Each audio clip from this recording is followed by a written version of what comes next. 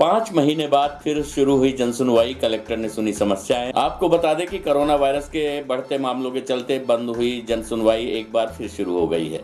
मंगलवार को कलेक्टर के समक्ष पंचानबे लोगों ने अपनी समस्याओं को रखा, जिसमें Rewa collector doctor Ilaiya Raja T द्वारा मौके पर तीन मामलों का निराकरण भी किया गया, जिसमें शिकायतकर्ता विजय साकेत के पैर में अज्ञात कारणों से सूजन रहती थी, जिसे मौके पर CMHO doctor B L Mishra द्वारा जाँच की गई तथा इस दौरान कलेक्टर के द्वारा तीन हज़ार रूपए की आर्थिक मदद भी उन्हें दिलाई गई।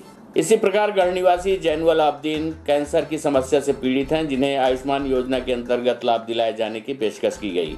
वहीं तकिया निवासी मोहम्मद सद्दाम के छह वर्षीय बालक का आधार कार्ड भी मौके पर बनवाने की प्रक्रिया पूरी की गई। आपको बता दें कि कोरोना काल में कई प्रशासनिक कार्यों पर लगाम लगाई गई थी, जिसमें भीड़ एक साथ एक स्थान पर इकट्ठा होती थी। जन सुनवाई भी कुछ ऐसा ही होता था, जहाँ पर लोग अपनी समस्याओं को लेकर एक साथ इकट्ठा होते थे। कोरोना के खतरे के चलते जन सुनवाई को अप्रैल माह में बंद कर दिया गया था, जिसके बाद आज फिर जन सुनवाई की प्रक्रिया शुरू की गई। आपको बता दें कि जिला कलेक्टर समेत ज़िले के प्रशासनिक अधिकारियों के द्वारा आज लोगों की समस्याओं को सुनते हुए उसका निराकरण किया गया। मंगलवार को पंचानबे लोगों ने अपनी समस्याएँ जिला कलेक्टर के समक्ष रखी जिसके बाद कलेक्टर द्वारा उनके निराकरण करने की बात कही। हम आपको बता दें कि कलेक्टर रीवा द्वारा कोरोना काल में भी लोगों की समस्याओं का निराकरण यथासंभव किया जाता रहा है। आइए सुनते हैं Rewa collector doctor Ilaiya Raja T से प्राप्त जानकारी के अंश। मिल जाएगी। शुरू हुई है इतनी भीड़ लगी हुई है क्या कैसे सुनवाई होती? वैसे लगातार जन सुनवाई हो रही थी बट अभी शासन द्वारा निर्देशित करने के बाद एक विधिवत सभी विभाग का अधिकारी के साथ है ना जन सुनवाई आज है ना शुरू हुआ है। उसमें काफ़ी सारा ज़मीन रिलेटेड है ना समस्या है। स्पेशली भू अभिलेख है ना सुधार के ना बहुत सारे एप्लीकेशंस आए हैं। वैसे शासन ने निर्देशित किया है कि आज से ही हम लोग है ना ऐसे एप्लीकेशन फ़ील्ड में भी कैंप लगा के लेने के लिए शुरू करेंगे। और एक नवंबर से पंद्रह नवंबर के बीच में भू अभिलेख सुधार है। कसरा टूटी है, उनका नाम में सुधार है, रकबा में सुधार है क्लरिकल एरर के कारण। उसका है ना हम लोग सारे आवेदन लेकर है ना निराकरण करेंगे। उसके साथ साथ है ना कुछ लोगों का आवास की संबंधित है ना डिमांड आई इमीडिएटली जिला पंचायत के माध्यम से।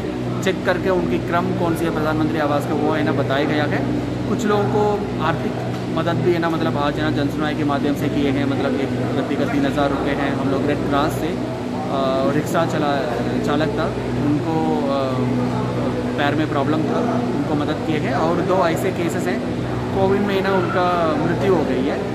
उनका पति का बट सिंगल मदर है उनके ना बच्चे हैं उनका भी है ना हम लोग निजी स्पॉन्सरशिप योजना के हम लोगों ने लोगों से अपील किए हैं पैसा जमा करने का। उसके माध्यम से ऐसे दो बच्चे को दो हज़ार दो हज़ार हर महीने के हिसाब से पूरा एक साल का है ना एक सैंक्शन की योजना वो भी है ना किए है। और भी विभिन्न प्रकार का अप्लीकेशन आए सर आमतौर पर ज़्यादातर देखा गया सी एम हेल्पलाइन से शिकायतें आती हैं फिर उनका निराकरण यहाँ पर होता है। सी एम हेल्पलाइन में काफ़ी सारा शिकायत निराकरण होता भी है बट ऐसे शिकायत होती है समटाइम्स है ना, वो सी एम हेल्पलाइन के माध्यम से निराकरण होना संभव नहीं है।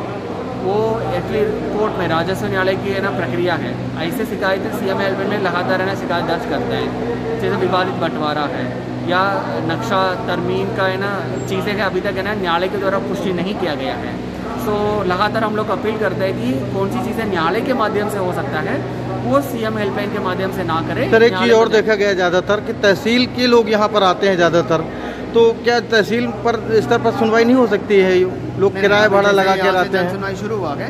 हम लोग नीचे भी है ना आज है ना सभी जगह डायरेक्ट करेंगे कि आ, सभी सब डिवीज़न में भी है ना सब डिविजनल ऑफिसर के साथ है ना जन सुनवाई की है ना व्यवस्था हो और करना भी चाहिए। मतलब उसका और व्यवस्थित कैसे कर सकते हैं सो दैट एक्चुअली तहसील से यहाँ लोग है ना कम से कम लोग आए हैं उसके ऊपर हम जी।